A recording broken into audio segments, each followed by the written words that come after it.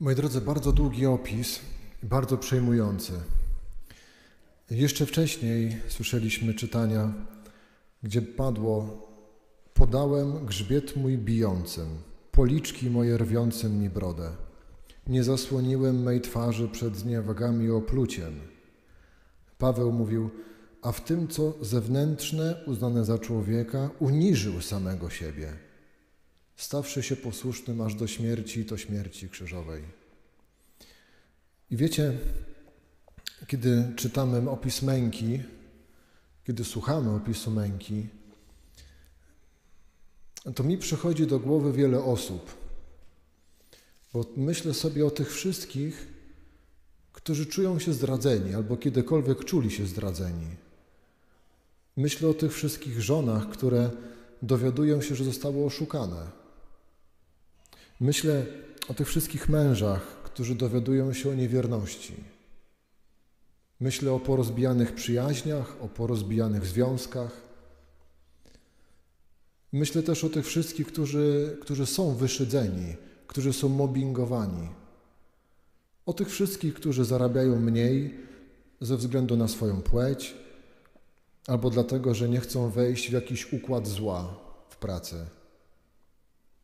Myślę o tych wszystkich, którzy są przedmiotem żartów, którzy są przedmiotem plotek, ze względu na swoją seksualność, na swoje pochodzenie, budowę ciała, na swoją pracę albo ze względu na swój grzech. Myślę też o tych wszystkich, którzy są opuszczeni, o ofiarach wykorzystywania seksualnego, ofiarach pedofilii, o rozbitych małżeństwach, o kobietach, mężczyznach porzuconych, o dzieciach, które słyszą od rodziców, że są niechciane, albo że, że powinny zapracować na miłość, że powinny na nią zasłużyć. Myślę też o tych wszystkich, którzy są słabi, którzy pomimo wielu trudów ciągle przegrywają walkę z grzechem. O tych, którzy szukają swojego powołania, ale boją się zrobić pierwszy krok o kobietach, które myślą, że są za słabe, aby uciec od swojego oprawcy, o dzieciach za słabych, żeby się wyprowadzić z domu od swoich przemocowych rodziców. O wszystkich, którzy mają wrażenie, że są za słabi, żeby walczyć o swoje zdrowie psychiczne. Jeszcze chwilę temu Jezus mówił: Gdy zostanę wywyższony nad ziemię, wszystkich do siebie przyciągnę. Wszystkich.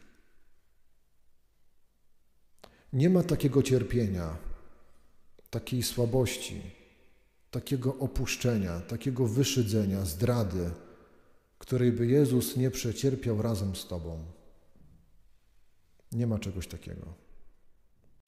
Nie ma takiego zła, nie ma takiego zła, które byłoby Cię w stanie od Niego odłączyć.